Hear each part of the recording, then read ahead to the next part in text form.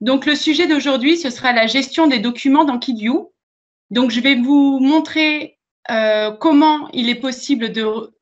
Merci, docteur Souchet, de me le dire.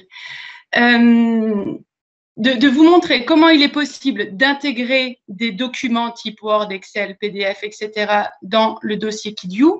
Donc, pour ceux qui ne le savent pas, KidView euh, va bien au-delà de la gestion des photos, puisque dans le dossier du patient, on pourra concentrer tout type de format, et notamment tout type de documents.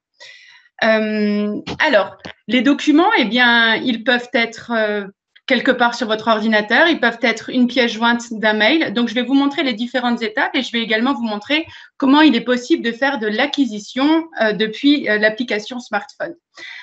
Alors, avec toutes ces lenteurs, du coup, mon téléphone s'est déconnecté et je vais le reconnecter gentiment en même temps. Alors, je vais me mettre sur un dossier patient quelconque et on va commencer la réimportation dans son dossier de documents. Alors, le but dans un dossier patient dans KidView, c'est de pouvoir y intégrer un maximum d'informations. Donc, en plus de leurs photos, d'y intégrer des documents, euh, tout type de fichiers. Pour ce faire, alors, on va déjà, je vais déjà vous montrer une des manières les plus simples, on va dire, du moment où vos documents sont stockés sur euh, votre ordinateur, par exemple. Dans ce cas-là, eh bien, je vais donc je suis positionnée sur mon dossier implant Marise et je vais aller récupérer mon fichier, que ce soit Word, Excel, PDF, peu importe.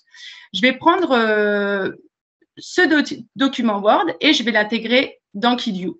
Alors à ce niveau-là, il y a aussi deux manières de faire. Je peux soit dire, ben, bien moi, tout ce qui m'importe par rapport à ce document, eh bien, c'est de savoir qu'il est associé au dossier du patient. Dans ce cas-là, eh bien, je le prends et je viens simplement le glisser dans la fenêtre de résultats, donc dans l'espace où on va retrouver toutes les différentes données pour ce patient. Quand vous le glisser déposer, cette petite fenêtre va s'ouvrir et vous pouvez le valider et ensuite venir l'identifier si vous le souhaitez grâce au gabarit. Donc, dans les gabarits, pour ma part, j'ai une famille administrative qui me permettra de dire, eh bien, ce document Word, c'était euh, le questionnaire médical. De cette manière, je saurai que ce document Word, eh bien, c'est le questionnaire médical pour le patient euh, implant Marise. J'aurais pu également, si je le souhaitais, directement prendre mon document et le glisser tout de suite en disant eh bien, que celui-ci, c'est un courrier confrère. Donc ça, c'est euh, la manipulation qu'il faut faire dans le cas où on souhaite réintégrer des documents qui sont déjà stockés quelque part sur notre ordinateur. Il va également y avoir euh, le cas des documents que nous recevons par mail. Dans ce cas-là, vous vous positionnez donc sur, euh, votre boîte mail habituelle. Et je vais euh, essayer de me trouver un document que je vais télécharger. Alors, je vais vous montrer d'ailleurs deux type d'intégration depuis une boîte, mail. En fait, il va y avoir les boîtes mail Internet, donc Gmail, Orange, etc., où il faudra systématiquement euh, télécharger la pièce jointe en amont. Donc là, vous voyez, j'ai cliqué sur mon mail et je veux télécharger la pièce jointe de ce mail. Donc, il faudra faire cette procédure pour pouvoir ensuite l'intégrer dans le dossier du patient KidView. Autrement, ce n'est qu'une page web. Donc, je le prends depuis l'espace de téléchargement ici en bas et je le glisse avec un clic gauche maintenu sur mon petit onglet KidView. Et encore une fois, soit je viens le déposer au centre dans la fenêtre des résultats ou alors je viens directement euh, l'identifier sur le gabarit souhaité. Donc, cette fois-ci, je vais dire que ça, eh bien, c'est l'attestation CMU. Quand je lâche, automatiquement, mon dossier est importé dans son, mon fichier est importé dans son dossier patient et je sais que c'est un document PDF. Je vais vous montrer maintenant euh, la petite différence si vous utilisez une boîte de messagerie type Outlook. Donc, quand vous êtes sur Outlook, la grande différence avec euh, une boîte de messagerie Internet, c'est que euh, vos mails sont déjà téléchargés. Donc ici, directement, au lieu de vouloir prendre juste une pièce jointe, je vais pouvoir prendre le mail dans sa totalité. Donc les différents échanges et pièces jointes s'il y a. Je prends ce mail et encore une fois, avec mon clic gauche, je viens tranquillement sur mon petit onglet KidView et je viens le lâcher cette fois-ci directement au centre, dans le dossier patient. Je valide, je réactualise et nous verrons que cette fois-ci, ben, c'est un nouveau type de format qui est un format mail. Et quand je double-clique dessus, il m'ouvre le, le, le, module Outlook et je vais pouvoir avoir accès à toutes ces informations. Alors voilà pour euh, l'importation des documents du moment où ils sont quelque part sur votre ordinateur. Je vais vous montrer euh, une autre option. C'est dans le cas où vous souhaitez intégrer des, documents depuis votre application smartphone. Alors là, vous avez un document à scanner. Donc, au lieu de passer par le scanner habituel ou autre, vous pouvez, depuis l'application mobile, scanner des documents en PDF, mono ou multipage. Donc, pour ce faire, ce sera depuis l'espace scanner. Je clique sur le module scanner et donc, on va pouvoir venir scanner un document. Donc, vous voyez, ici, il me détecte automatiquement le document sur, puisque c'est un, fond, un, document foncé sur un fond clair, il le détecte automatiquement. Et donc là, je demande à envoyer ce fichier sous format PDF dans le dossier du patient.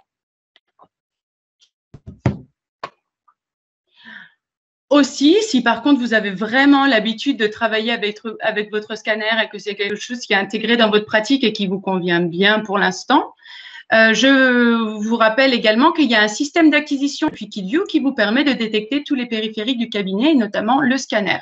Et donc, ce sera depuis l'espace acquisition ici de la barre d'outils du haut que vous pourrez demander les imports depuis votre scanner. Et donc, voyez, mon document PDF est ici. Alors maintenant, vous allez me dire, eh bien, c'est chouette, mais là, dans son dossier patient, moi, alors oui, effectivement, quand je passe dessus, si je l'ai identifié grâce à un gabarit, j'aurai l'information qui s'affichera, que c'était un fichier attestation CMU, etc. Mais je n'ai pas le visuel de celui-ci. Vous voyez, si je me mets sur une vue et que je clique dessus, eh bien, je n'ai aucun visuel. Donc, je suis obligée de double-cliquer sur mon fichier pour ouvrir le module PDF, pour ouvrir le module Word ou pour ouvrir ma boîte de messagerie. Eh bien, on a une astuce à vous proposer à ce sujet-là qui vous permet en fait d'avoir toujours de manière visible la première page du document. Donc, vous le verrez en miniature depuis l'espace résultat ou alors, grâce au viewer, vous pourrez, euh, vous pourrez le visualiser. Alors, cette fonction, c'est ce que nous appelons un preview. Alors, le, preview permettra de visualiser la première page du document et de cette manière ne pas avoir à ouvrir le document pour le lire.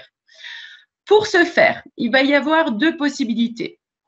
Alors, vous voyez qu'ici, en fait, donc le document, eh bien, c'est un PDF, mais je vais vous montrer comment, à quoi il pourrait ressembler dans le cas où le preview était activé. Si je vais ici, vous, donc, la petite fenêtre ici en bas à gauche des, filtres, enfin, du fichier patient, c'est ce qui va vous permettre de faire des recherches sur des types de photos ou de, de fichiers, de documents. Et donc là, je vais demander tous les documents qui ont déjà eu la fonction preview et donc pour lesquels la première page est visible. Donc, pour faire une recherche sur toute ma base de données et afficher dans la fenêtre résultat toutes les données qui correspondent à ces mots-clés, eh bien, je me positionne sur le filtre de collection en question et je viens cliquer ici sur la deuxième coche au-dessus du fichier patient. De cette manière, il va chercher eh bien, tous les patients qui ont des documents avec un preview qui a été fait. Eh bien, voyez ici, quand je clique, eh bien, j'ai des documents qui viennent s'afficher de manière claire. Je le vois en miniature ou je le vois euh, plus clairement depuis l'onglet Viewer et donc une vue. Eh bien, c'est parce que là-dessus, on a lancé le module Preview. Maintenant, je vais vous montrer comment est-ce qu'on va le lancer. Je vais me remettre sur le patient en question et je vais me remettre sur toutes ces données. Alors, pour activer le preview, il va y avoir différentes possibilités. En fait, quand on active un preview, on lance, une action euh, de Adobe Reader qui va vous permettre d'avoir ce visuel.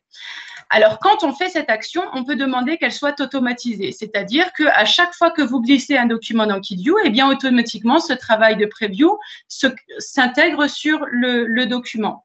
Dans ce cas-là, vous venez ici sur l'icône Switch. Quand vous cliquez ici sur Switch, alors je rappelle, si vous n'avez pas l'icône Switch dans votre barre d'outils, vous faites un clic droit sur n'importe lequel des autres icônes de cette barre, vous venez cliquer sur bouton et vous venez cocher Switch.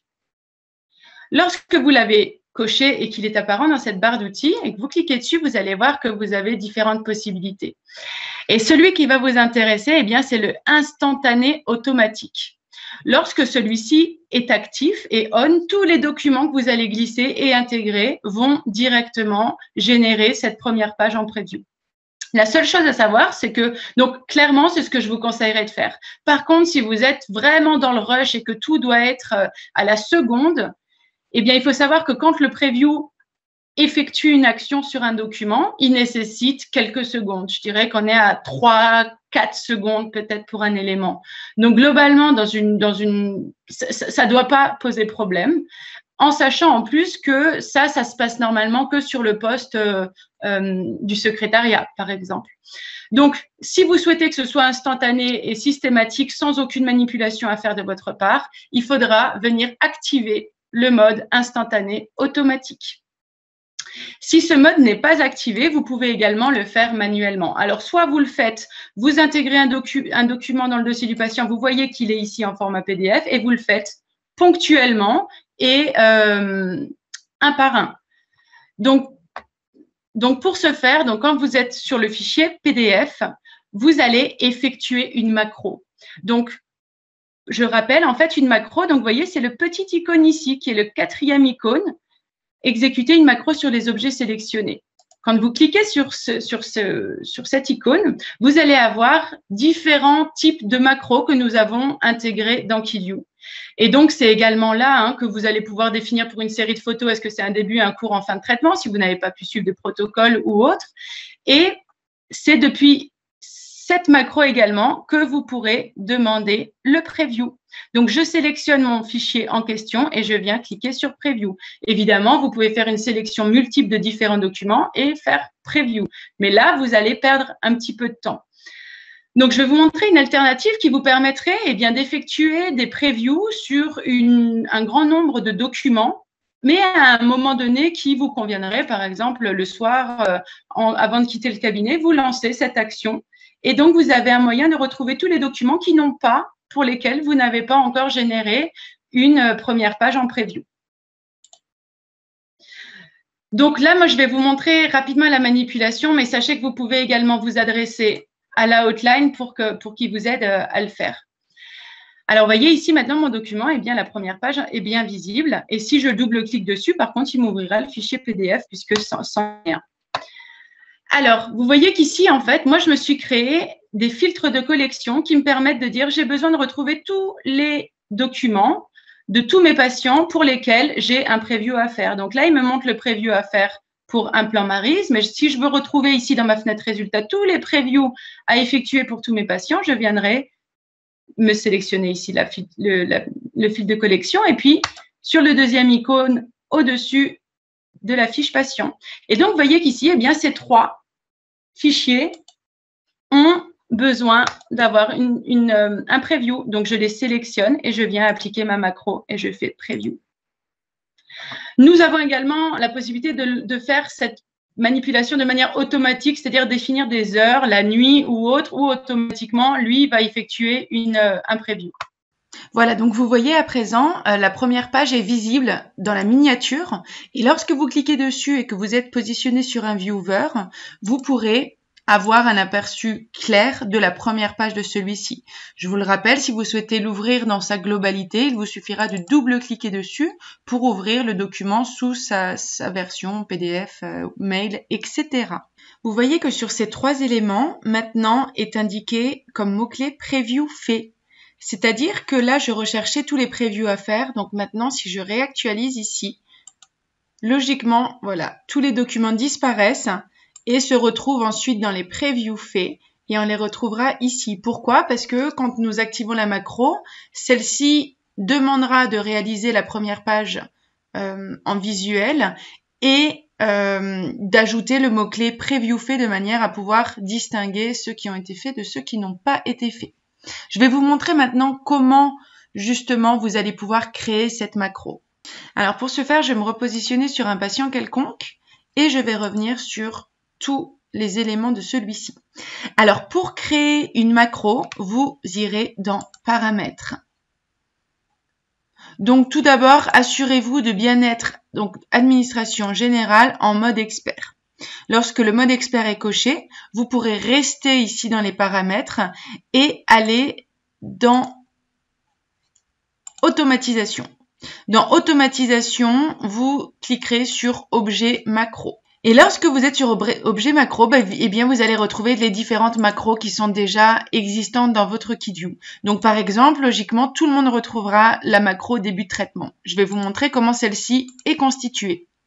Alors lorsque l'on constitue une macro, nous allons ajouter des attributs et en supprimer. D'accord? L'intérêt, c'est que quand vous allez, vous vous êtes trompé dans euh, l'attribut de la séquence en disant que voilà, c'était une fin de traitement au lieu d'un début de traitement, et que vous appliquez une macro sur celle-ci, eh bien automatiquement, lui, il supprimera les autres mots-clés qui étaient erronés et ajoutera celui qui correspond à cette macro. Donc voilà comment on constitue des macros. Je vais vous montrer maintenant comment est constituée la macro du preview. Donc nous, on l'appelle preview.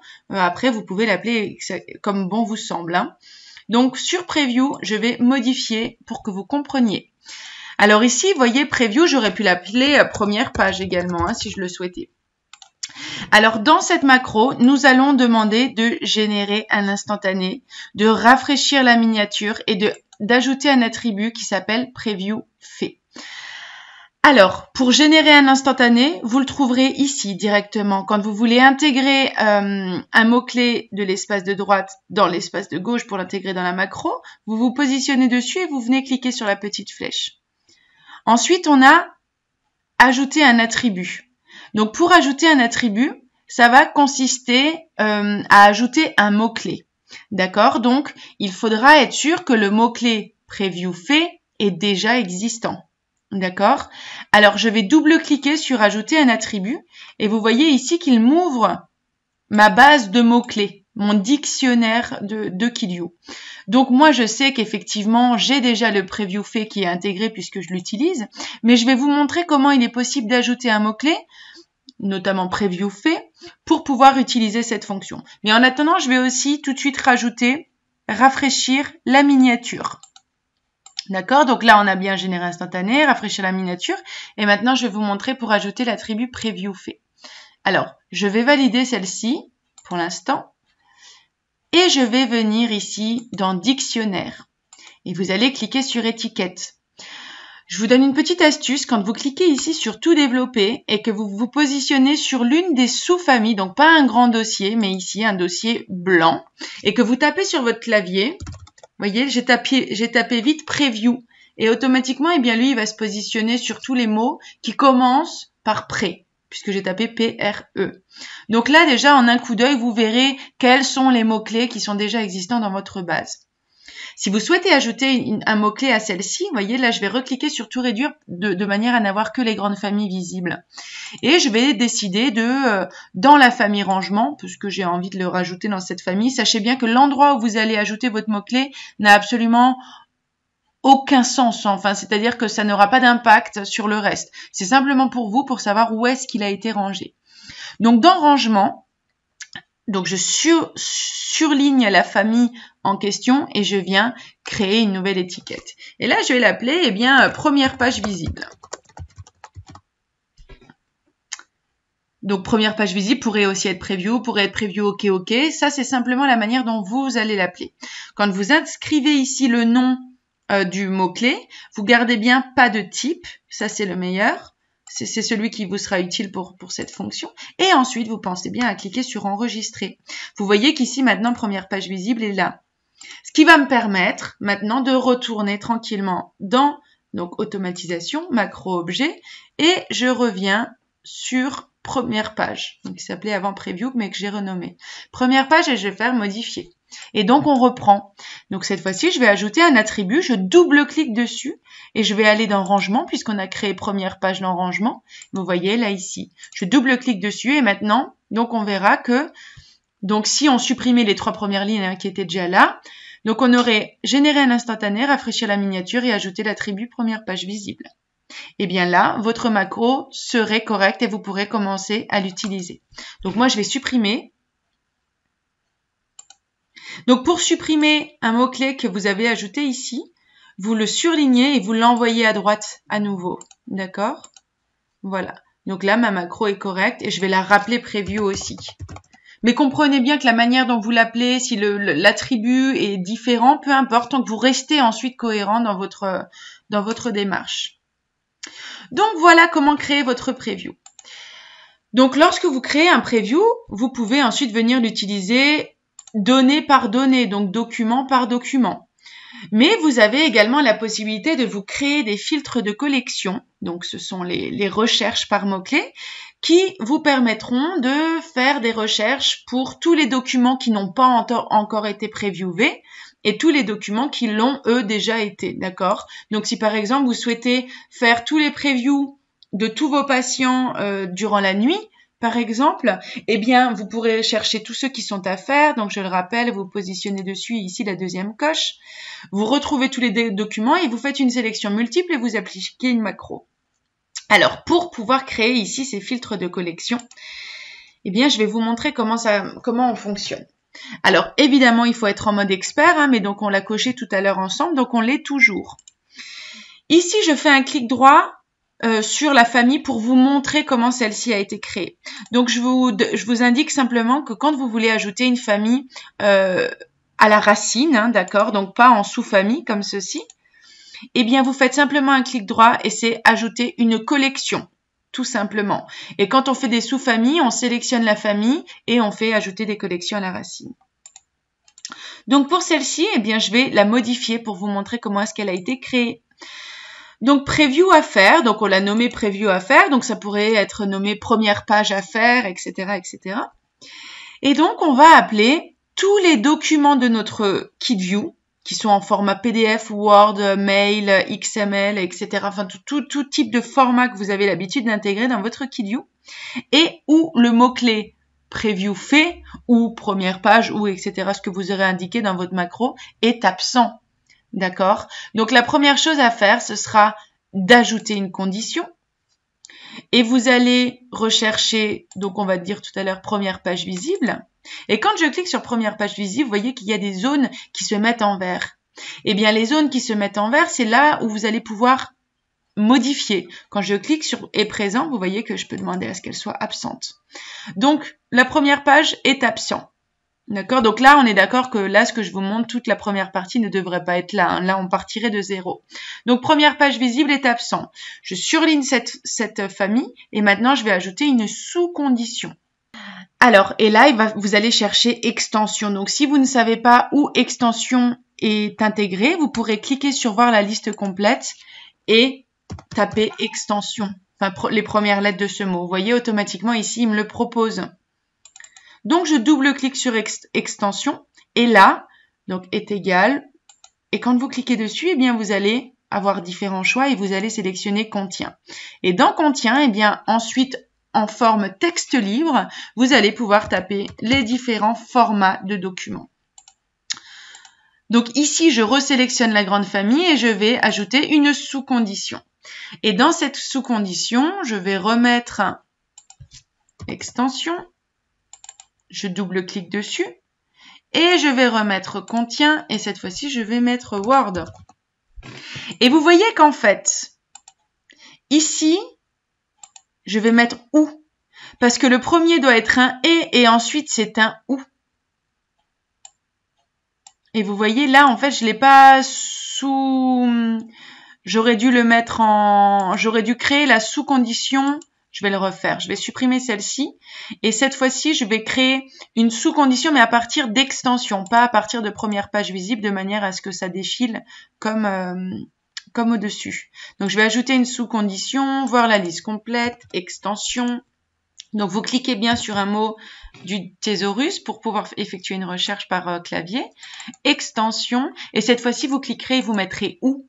Et là, contient et ici Word et ainsi de suite. Et vous ajoutez vos différentes conditions et donc ensuite toujours toujours en mettant ou. Le premier doit être un et donc celui-ci sera inexistant, le premier devant première page visible sera inexistant puisque ce sera le premier. Là, il ajoute cette condition à la condition du dessus, mais c'est la même. Donc il n'y en aura pas. Donc le premier, vous mettez qu'il est absent. Le premier, la première sous-condition, vous mettez et et ensuite des ou. Et vous ajoutez autant de formats de documents que vous le souhaitez. Donc là, je vais supprimer Voilà. Moi, je vous donne l'information PDF, Word, MSG, XLS. C'est pour ce que nous, nous avons dans notre KidView, mais en fonction de ce que vous avez l'habitude d'intégrer, à vous de gérer. Et ensuite, donc ça, c'est pour la collection Preview à faire. Ensuite, pour les Preview faits, eh bien, il demande simplement ou que le mot-clé Preview fait est présent. Donc, il ajoute une condition, voir la liste, vous tapez au clavier Preview, vous voyez, je trouve ici Preview fait, donc vous, première page, etc., etc. Vous double-cliquez dessus, donc vous n'aurez pas le et, et vous choisissez est-ce qu'il est présent ou il est absent. Donc vous mettez qu'il est présent. Et je supprime la condition. Et voilà comment on a la possibilité de créer des macros et de créer des filtres de collection qui vous permettent de faire des recherches entre les documents qui ont été préviewés et ceux qui n'ont pas été pour pouvoir demander des actions au fur et à mesure. Sinon, je vous le rappelle, vous avez l'option Switch et lorsque vous cliquez sur instantané automatique et que celui-ci est coché, tous les documents que vous allez intégrer dans KillView seront transformés et préviewés euh, automatiquement. Et eh bien voilà, c'est à peu près tout ce que je voulais vous montrer sur euh, la gestion des documents dans KidView. Donc je le rappelle, si vous avez la possibilité et l'envie, concentrez un maximum d'informations dans le dossier du patient KidView, donc que ce soit documents, radio, photos, euh, audio, tout ce qui peut vous intéresser et de cette manière vous pourrez l'identifier, tout retrouver simplement, efficacement et vous gagnerez du temps. Voilà. Donc, si vous avez des questions, eh bien, n'hésitez pas, je me ferai un plaisir d'y répondre. Et puis, euh, dans le sens inverse, j'espère que, que ça vous a été utile et que vous pourrez le mettre en application dans votre pratique quotidienne.